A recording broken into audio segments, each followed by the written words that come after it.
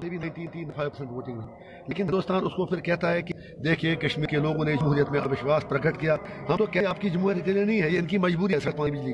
جمہور ان کا وشواس ہے کشمیر ایشو ریزالو اور اس کے بعد جو بھی سمجھدار کرا تو اس کا مطلب یہ نہیں ہے کہ ان کے پاس ہے، یہ ان کی کپلشن ہے۔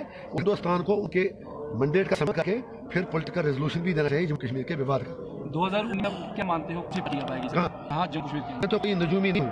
میرے بس کی بات چلتی تو ان سب دلی میں ان کی چھٹی کر کے دبنگ بنانا تھا جو وی آئی پی کلچر کے خلاف ہوں۔ جو عام آدمی کی بات ہے جو پروٹوکال ہے جو یہ آنریبل لفظ ختم کریں جو غریب کی بات سنیں وہ تو لوگوں فیصلہ کرنا ہے۔ تو کیا مانتے ہو؟ Jammu Kashmir B J P کچھ کی ہے ڈیولپمنٹ ہائی سرکار کی، لیکن انہوں نے کیوں ڈیولپمنٹ نہیں کی؟ مطلب سب سے بڑی ڈیولپمنٹ یہ کی کہ جموں کو کشمیر کے خلاف کھڑا کیا۔ سب سے ڈیولپمنٹ ہوئی کہ میں یہاں پر آنے نہیں رہتے سب سے ڈیولپمنٹ ہوئی کہ پینتیس اور تھی تو ستر میں ہے۔ سب سے ڈیولپمنٹ یہ کی کہ مجھے مجھے کہ ہمارے کشمیر پنڈت بھی اب ایسے ایک پھر ہیں۔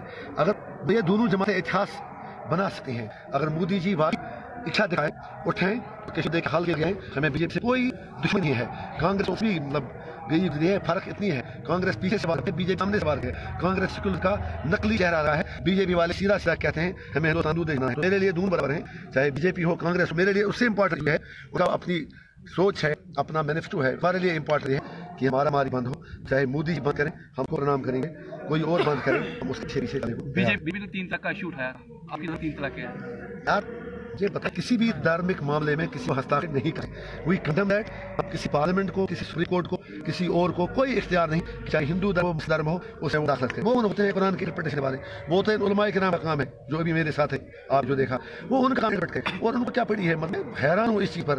وہ پہلے اخلاق کی بیوی کو انسان ہے وہ پہلے باقی کو صاحب ہے انہوں نے ایک ایم ایل اے کو جلا دیا اور زندہ وہ پہلے صاحب ہے لہٰذا چاہے بی جے پی اور کانگریس کا چہرہ جو ہے وہ بے نقاب جو کانگریس مسلمانوں کا ووٹ لیتی تھی، اس کانگریس نے پارلیمنٹ میں بی جے کیا۔ لہٰذا اس چیز کو ریجیکٹ کرتے ہیں مسلمان کے لیے۔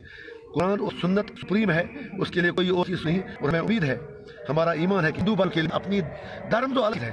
دھرم کے کسی کو چھٹاٹ نہیں کرنی چاہیے۔ چاہے اسلام ہو، ہندوازم ہو، کوئی اور ہو، وہ چیز کرے وہ ووٹ میں قائم۔ مجھے بتائیے پہلے وہ بل ہے کیا؟